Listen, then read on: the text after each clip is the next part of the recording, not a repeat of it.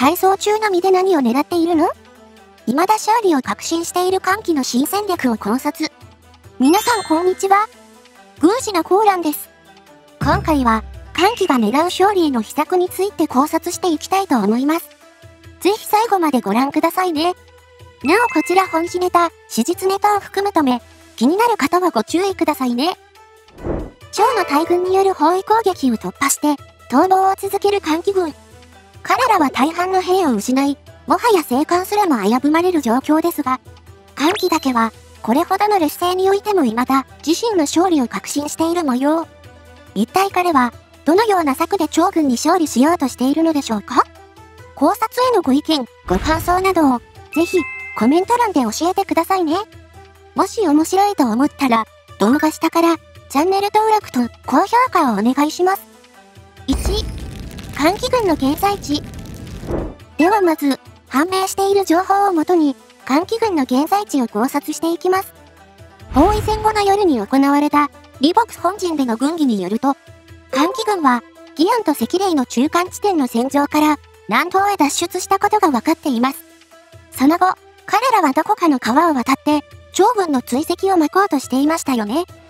超北部の地図を見ると、ギアンの北と西下の南東に川が2本確認できますが、作中において地図に記載されるような川は、大船団が航行できる規模のものであり、寒気群が溶かしている川が、歩いて横断できる程度の川幅と水深しかないことを踏まえると、この川は地図上のどちらでもなく、小規模な支流であると考えられます。また、712話のナレーションをもとに考えると、通常時の軍が1日に行軍可能な距離は、大体赤霊からギアンくらいまでだとされていましたよね。これらの情報を合わせて考えると、現在寒気群がいる位置は、ギアンから見て南に進んだ、この辺りだと推測できます。2、寒気の方針。それでは次に、寒気がどうやって李牧に勝つつもりなのかを考えていきましょう。結論からお伝えすると、彼は李牧を撃つことで勝利を狙っている可能性が高いです。なぜなら、寒気の戦歴を振り返ると、彼はこれまで全ての戦で、敵軍総大将の首を直接狙っていたからですね。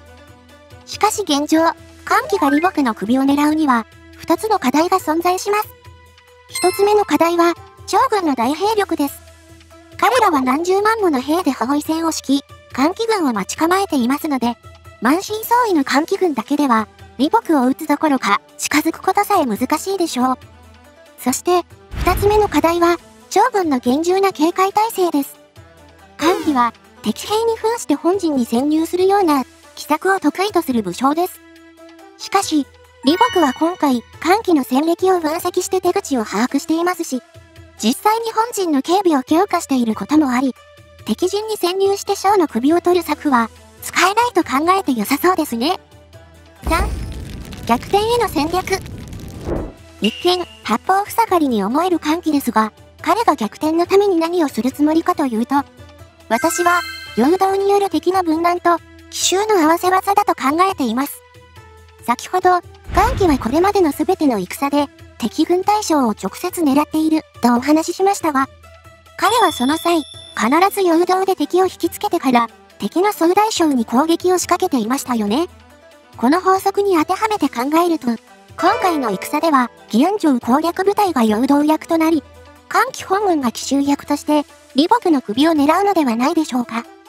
ただし、義安城の制圧に成功しても、長軍の兵力が変化するわけではありませんので、これだけでは、李牧に対する奇襲への下準備としては不十分です。そこで歓喜は、敵戦力を削るために、義安から離れた場所で敵に姿を晒して、自分の居場所をわざと長軍に知らせるのではないでしょうか。彼らが義安町の陥落を知ると同時に、歓喜発見の報告を聞くことになれば、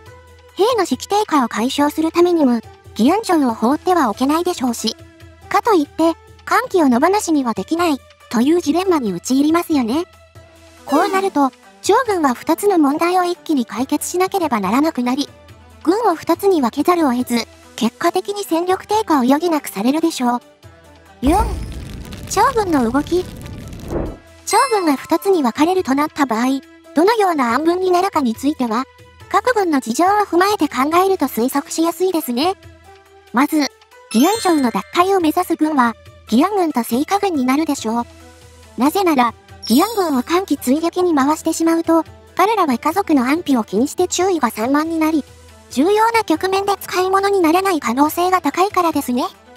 また、聖火軍は飛信隊との戦いで、主力である将軍が2名とも負傷してしまいましたので、激しい移動を伴う追撃戦よりも、動きの少ない甲状戦に回されると考えるのが自然です。次に、寒気への追撃部隊ですが、こちらは李牧配下の軍と、琥珀行軍が当たるでしょう。寒気が奇策を用意している可能性を考えると、李牧が現地で直接指揮を取る必要がありますし、寒気に強い憎しみを抱く琥珀校は、万国のような特攻役として有用ですからね。本来ならば、機動力に長けた岩門軍を追撃部隊に当てたいところですが、729話で描かれた長軍の軍議の中に、岩門将たちの姿がなかったことから、彼らは未だに、鬼神隊追撃のために、周囲の探索を続けているのだと思われます。ちなみに、今回参戦している長兵の大半が、超白部軍所属の兵であることを踏まえると、李牧直下の兵や琥珀行軍の兵数は、存外少ないと考えられる上に、李牧が機動力を優先した場合、彼の兵は数万の騎兵のみとなりそうです。5、寒気の行き先。では、長軍を分断するために、寒気が現在どこへ向かっているのかというと、私は2つの理由から、彼の目的地は非下だと考えています。まず、1つ目の理由として挙げられるのが、非下の位置です。寒気は方位から脱出し、南東へと逃れましたが、この報告には、数日で到達できる距離に特筆すべき蝶の拠点がありません。そのため、軍議中に長将が予測したように、方向転換を加味して彼らの行き先を推測すると、この位置から迎える近隣の都市は、赤霊か非かに限定されますよね。そして、二つ目の理由として、長軍の警戒の緩さが挙げられます。